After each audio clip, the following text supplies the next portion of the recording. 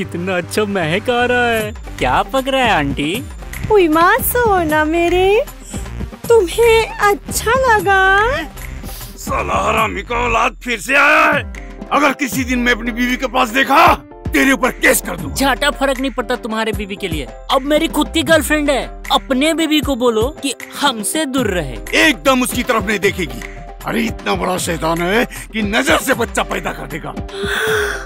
क्या कहा? नज़र से प्रेग्नेंट कर देगा।